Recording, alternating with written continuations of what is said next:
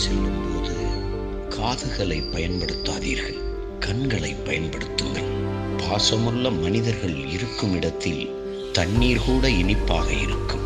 தாயும் தந்தையும் கற்றுத்தராதவர்க்கு உலகம் கற்றுத்தரும். அளவுக்கு மீறி அறிவுரை கேட்டால் அதிக குழப்பம் அடைய நேரிடும். எதுவும் தெரியாதவனுக்கு எந்த சந்தேகமும் இருக்காது.